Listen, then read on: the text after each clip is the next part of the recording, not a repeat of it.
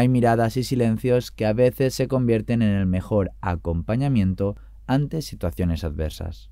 Por ello, bajo el lema Herramientas para una atención de calidad, se ha celebrado la primera jornada multidisciplinar sobre la atención al duelo perinatal en el Colegio de Enfermería de Alicante.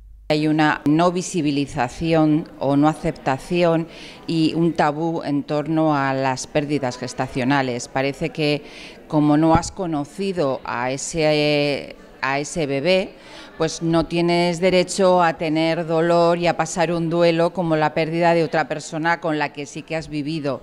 Unas situaciones que carecen de sensibilidad social y que hacen del colectivo de enfermería un pilar fundamental para las familias que la sufren.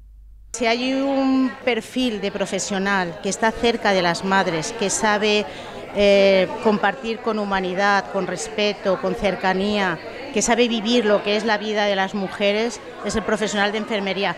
Y dentro de ello las matronas, que somos enfermeras especialistas en obstetricia y ginecología. Entonces no hay mejor perfil que el nuestro para esto. Además de dar visibilidad y poner sobre la mesa el papel de las matronas, las ponencias también han servido como formación para actuar ante estas situaciones, tanto para las enfermeras con más experiencia como para las matronas residentes.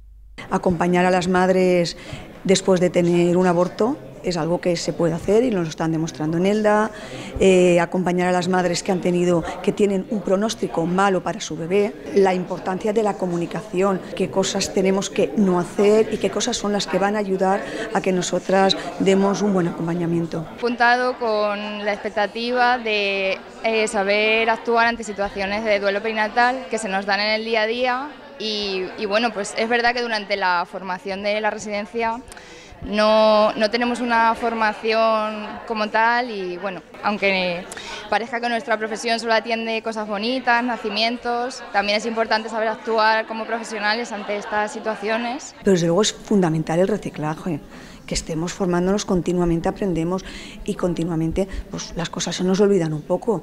Todo lo que nos han dicho, pues venimos aquí y ese reciclaje continuo también es fundamental.